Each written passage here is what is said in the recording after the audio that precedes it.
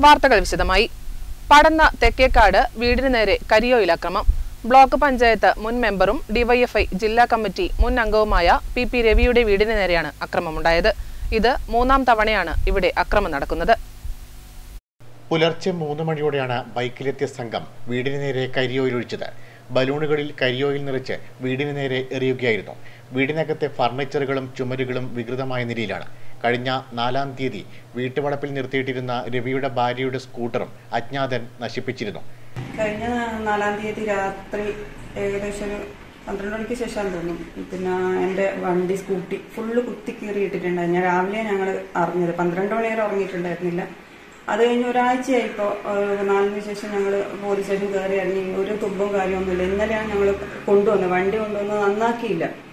ഇന്നലെ രാവിലേക്ക് ഫുള്ള് കരിയോയിൽ ഒഴിച്ച് വെച്ചിരിക്കുന്നത്. ആരാണ് ഇങ്ങനെ ചെയ്യുന്നത് നമുക്കറിയില്ല. കാരണം ഭയങ്കര ദ്രോഹമായി ചെയ്യുന്നത്. മാനസികമായിട്ട് ഒരുപാട് പ്രശ്നങ്ങൾ ഇതുകൊണ്ട് ഞങ്ങൾക്ക് ഉണ്ടാവുന്നുണ്ട്.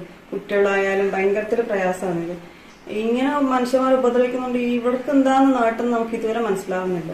വലിയ തോതിലുള്ള സൈബർ അക്രമങ്ങൾക്ക് പുറമെയാണ് അടിക്കടിയുള്ള നാശനഷ്ടങ്ങൾ ഉണ്ടാക്കൽ. കഴിഞ്ഞ പഞ്ചായത്ത് തെരഞ്ഞെടുപ്പ് വിജയാഘോഷത്തിനിടെ പ്രകടനമായി ഒരു സംഘം ആളുകൾ രവിയുടെ വീട് ആക്രമിച്ചിരുന്നു. പടന്ന തെക്കേക്കാട്ടെ മുത്തപ്പൻ മടപ്പുര പിടിച്ചെടുക്കാൻ നടത്തുന്ന ശ്രമങ്ങളുടെ ഭാഗമായി ചെറുതും വലുതുമായ നിരവധി അക്രമ സംഭവങ്ങളാണ് നാട്ടിൽ അരങ്ങേറിയത് പിന്നാലെയാണ് മടപ്പുരയുടെ മുൻ സെക്രട്ടറി കൂടിയായ രവിയുടെ വീടിന് നേരെ തുടർച്ചയായ അക്രമങ്ങൾ നടക്കുന്നത്. പോലീസിൽ പരാതിപ്പെട്ടെങ്കിലും കാര്യമായ നടപടി ഉണ്ടാകുന്നില്ലെന്നും കുടുംബം ആരോപിക്കുന്നു. Network news Trikaripur